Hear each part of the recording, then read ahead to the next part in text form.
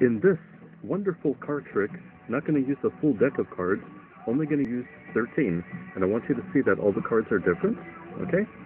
And um, I want you to remember the bottom card, Seven of Clubs, okay?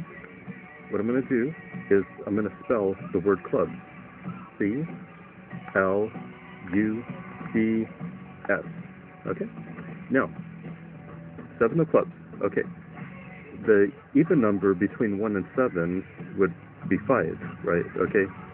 You know, you count in fives. So one, two, three, four.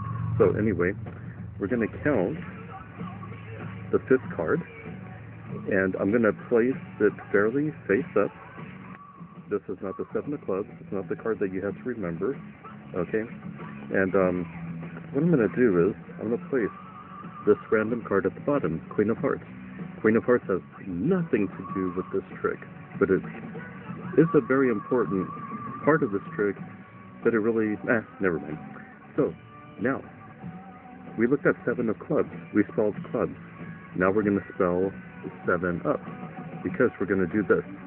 S, E, D, E, N, U, T. Seven up? Seven up? For the next card, kindly be the seven of clubs. And remember,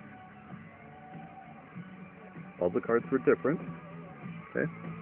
And go like this, and if we turn them over like this, you can actually see that now the Queen of Hearts was the only face-up card in the deck.